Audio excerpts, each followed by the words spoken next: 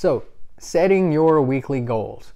Each week, you will have a section for planning the upcoming week and reviewing the previous week. So, when you're planning the upcoming week, you'll have three goals to outline for the week ahead.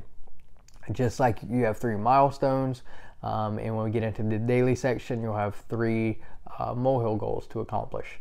So, with your weekly plan, you want to outline three weekly goals that are directly aligned with your milestones. So, I like to pick a weekly goal, one weekly goal for each of my milestones. That that won't always be the case, right? So, at some point, you're going to move ahead. Maybe you accomplish one of your milestones, something like that. You won't always be able to have a one for one, but whenever possible, I like to have one weekly goal that is directly aligned with one milestone. All right.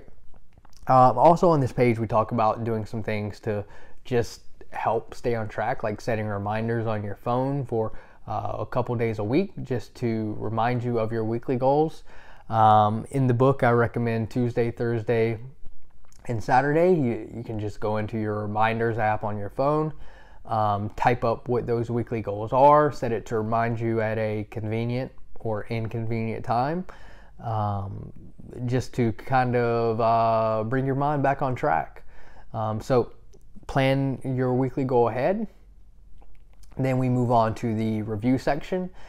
In the review section, you'll do a couple things. One of the things that you'll do there is you'll look back at your previous week. You'll look at the rating on each day. Um, if you flip ahead and look at one of the daily sections, you'll see at the bottom on the right, you have a review section um, that will give you a, a, a point total for that day. It's a very simple, straightforward process, nothing elaborate. You don't need a calculator, um, but it'll give you a point total for that day. What you want to do is, is you want to answer the question that says, how could you replicate the day that had the best uh, point, right? So go to that day, look at the all the context around that day, and think about what made you rate it so high, and how could you replicate that day? Because obviously, moving forward, we want to have as many great days as humanly possible.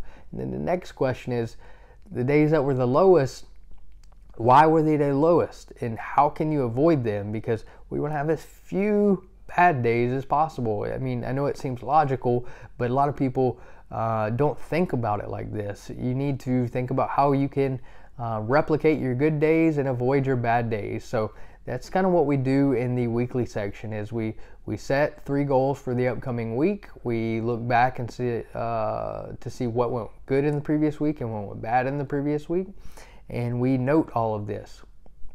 So next we're going to move on to the daily section